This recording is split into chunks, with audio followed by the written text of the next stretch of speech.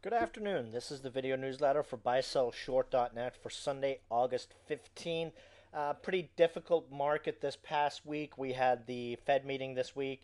They came out, uh, gave what many thought was uh, decent news. Uh, they did a mini quantitative easing. We saw a nice little pop on that, and then the next day the market tanked uh, on the same news, and we had more of that malaise on Friday. Economic data sort of coming in as expected. Retail sales uh, worse than expected, but no real surprise. Uh, we had the end of uh, unemployment benefits for a few million people in May and June, which was a big hit to the economy. And we've had that hangover from the European crisis in May and June, which spilled into July. So, I mean, there was a lot of headwinds. The news was not unexpected and we have much lower trading volumes uh, in the market right now. So that's adding to the grief we're seeing right now. Looking at the Dow 15 minute chart, I don't really like the setup that we have here. We really need to have an update tomorrow, or we could be looking at a test of the 10K mark uh, pretty fast. Uh, as you can see here, we're in this bullish falling wedge right now, and over the last couple of days, we've been trading within a 50 point uh, trading range. I do not like seeing consolidation like this at the bottom of its steep sell off. Usually it implies further downside.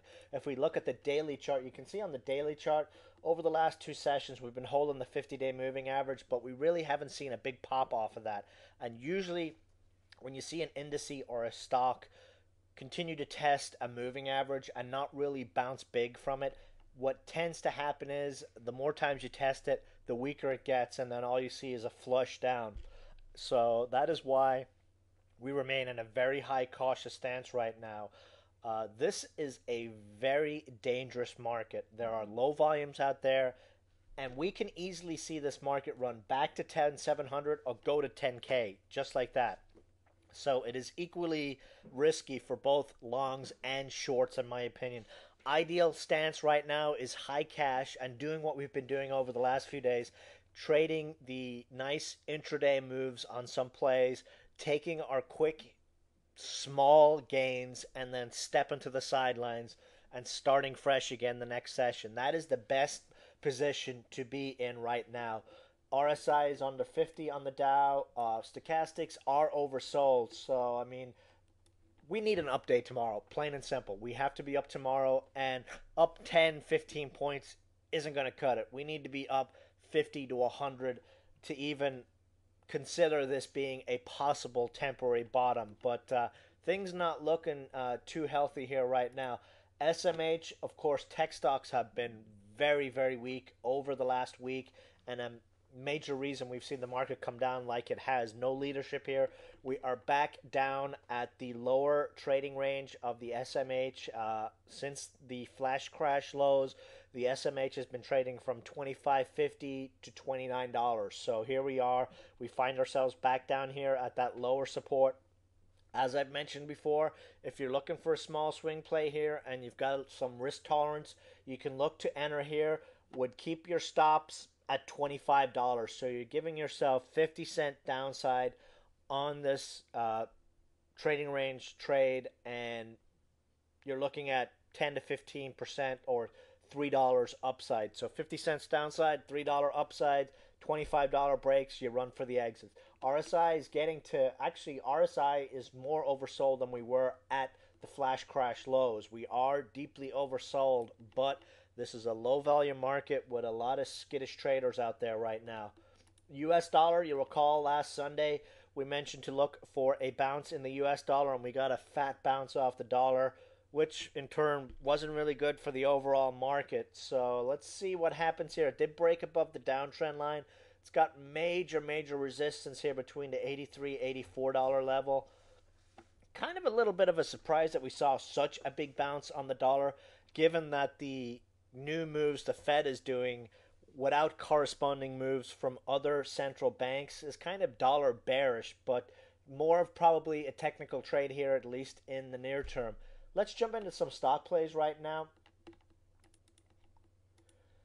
DSCO, uh, when we've been patiently playing on this stair step move over the last month, uh, looks like it's found very nice support here around uh, 24, 25 cents, and we should see the beginnings of an up move in this stock this week. Our secondary target is a move to the 37 cent area. RSI is looking to bounce here. Stochastics are in the basement, and any sort of positive market here, and we could see a very fast move in DSCO in the near term. CRXX, this was a stock we jumped into on Thursday. Nice little pop there on Friday. Again, the market hasn't really helped here, but this is a stock that loves to bounce pretty nicely off uh, the 200 day moving average. So all we're looking for right now is a bounce back to the 20 day exponential. That's a buck 49, buck 50. Uh, we're not looking for home run plays out of stocks right now. We're looking to make a small living while this market malaise continues. Short plays. Uh, we're going to continue to look. We're not going to be shorting the overall market. We're going to continue to look to short turds like ICOP had a really big spike, gave that second day sell off, has rebounded on Friday, and uh, I would actually keep an eye on this one. This sort of setup on these turd low float runners typically uh, has another secondary move. So you could see this one make a move above three early this week, which would be great. You know, we could initiate new shorts on this one.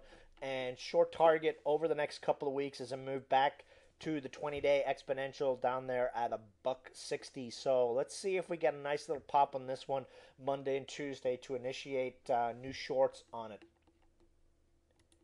LVLT continuing to keep an eye on this heavy volume trader, but uh, it's been holding the dollar ten area pretty well. A break over a buck fifteen in this market uh, could finally see the stock make a run for its 200 day moving average. So a stock to throw on the watch list. On Friday we jumped into TRID buck 47, buck 48. Our target was 155 to 160. Traded as high as 164. 10% in a couple of hours. Can't argue about that. Would look to add to this position on any dips down below a buck 50 again, but deeply or it's given up all of its uh, great earnings run here move on the last week. So, you know, time for this one to put in a nice little bounce. ETRM, you know, we're just keeping an eye on this one. Low flow play could see a pop to the 210 to 215 area. Uh, just based off the setup, last couple of times we've seen a setup like this, it's gone on and had these nice little spike moves. And these low float, low volume plays are pretty much all the traders are really focusing on right now. LOCM. Uh, let's keep an eye on this one tomorrow. This is a stock got bashed big time by uh, some quotation marks investigational website. Uh, likely short the stock, irregardless. Very very steep sell off on this one. Looks like it could be possibly putting in a bottom here. If it does have a snapback rally, you could see this one go on a, you know, 10 to 25% move over the next couple of days. So it could see a snapback bounce to the $5 area, which down here under 4 is not a bad return and this is the most oversold the stock has been in a while. Granted, now remember, this stock is being bashed big time. Uh, whether it's merited or not, I don't know. It probably is, but irregardless, could see a nice little short cover bounce in this one early this week, so keep a very close eye on it. That's pretty much it for the video tonight. Again, high cautious stance right now. Very, very dangerous market here. So we're going to be sticking mostly to intraday trades. So definitely, if you can, come into the chat room.